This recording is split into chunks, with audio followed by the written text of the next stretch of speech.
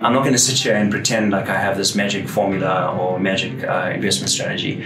I try and keep my spending as low as possible um, and ensure that um, every uh, possible cent that I can potentially save towards retirement or just put away uh, in case of a rainy day, I try my best to maximize that.